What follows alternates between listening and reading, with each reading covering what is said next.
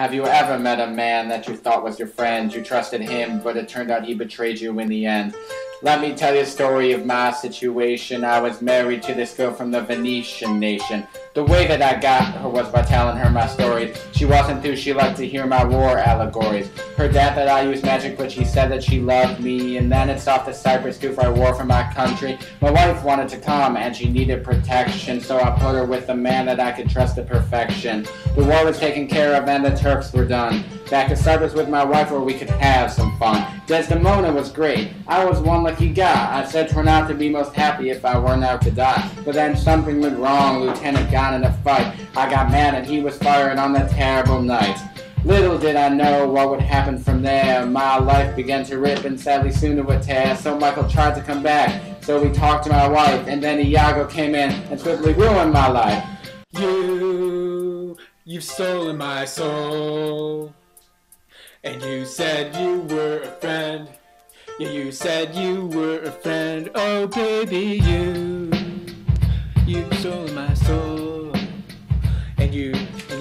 you were a friend. You said you were a friend.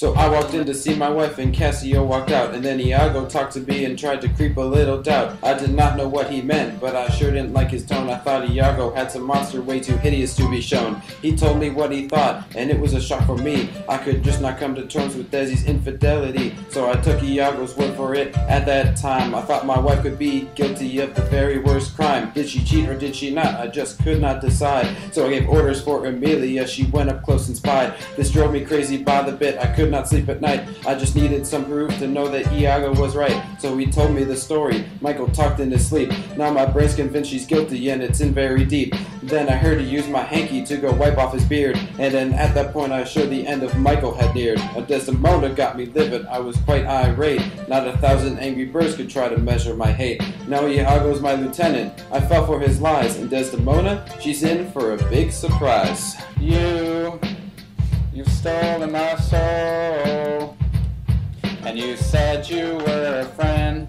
And you said you were a friend. Oh, baby, you, you've stolen my soul. And you said you were a friend. And you said you were a friend.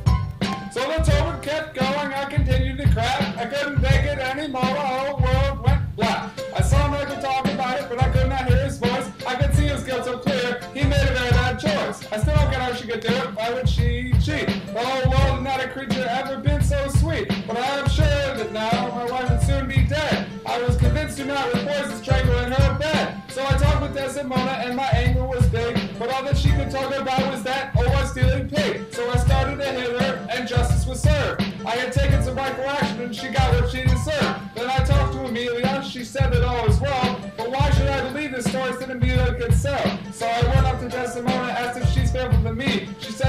done not one thing wrong, but as good as can be. But now Bianca's got my hanky, I know Desi would lie, but I could never see it coming how many people would die. But I still think that she cheats now an object of scorn. And now